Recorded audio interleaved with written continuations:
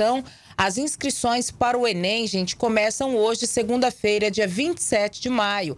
Podem se inscrever todos os estudantes do ensino médio e pessoas acima de 18 anos que querem ingressar no ensino superior. A prova já tem data marcada e deve ocorrer em novembro. A reportagem é do Emerson William. Milhares de estudantes do ensino médio, especialmente quem está no terceiro ano, já estão se preparando para ingressar no ensino superior. Como é o caso de João Vitor, estudante da Escola Estadual Bom Jesus, em Três Lagoas. A unidade está com um projeto voltado para os alunos que vão realizar o Enem no final do ano.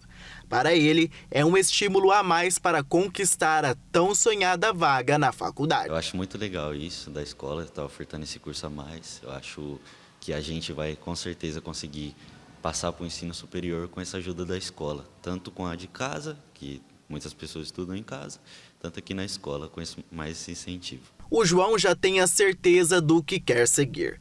Quer cursar Direito na Universidade Federal de Mato Grosso do Sul, a UFMS, em Três Lagoas, e se tornar delegado.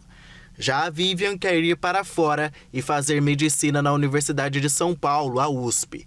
Ela sabe que é um curso que exige bastante estudo e por isso ela tem se preparado muito.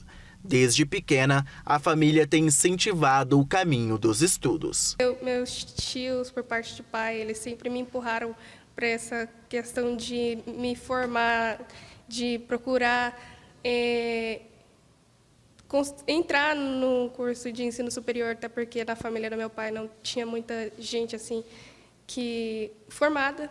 Tanto é que os primeiros da família do meu pai foram os meus primos que se formaram.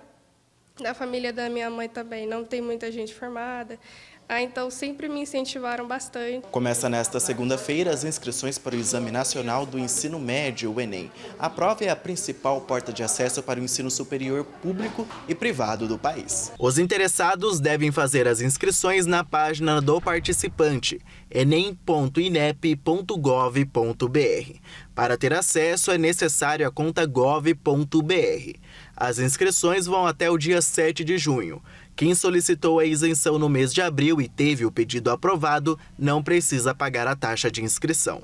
Demais estudantes precisam fazer o pagamento no valor de 85 reais. As datas das provas já estão marcadas e devem ocorrer nos dias 3 e 10 de novembro, conforme o edital.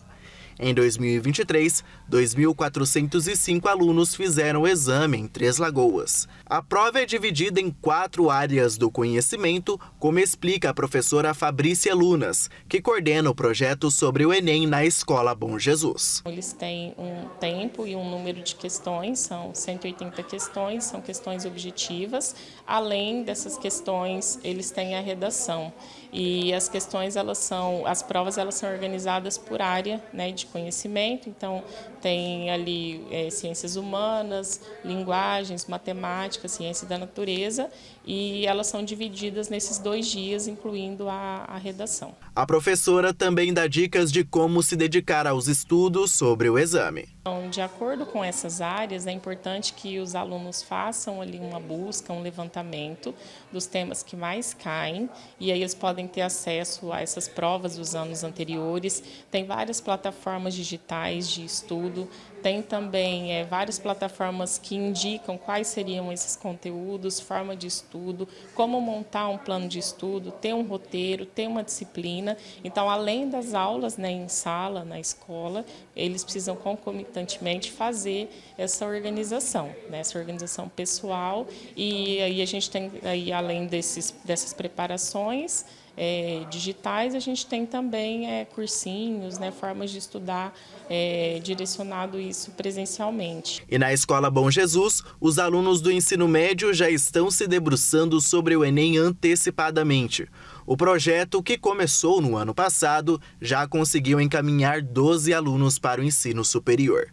O intensivo segue agora até o final do ano, dias antes da realização da prova. A gente faz aí um, um discurso com palestras, rodas de conversa, traz convidados externos de acesso ao ensino superior e foca nessa questão do Enem, porque ela é essa prova aí é, multi, né, que vai dar ele essa oportunidade de acesso. E a gente tem aulões também, preparatórios por área, tem um aulão de redação que vai falar sobre as técnicas de redação, é, formas de produzir o texto, os possíveis temas que caem naquele respectivo ano.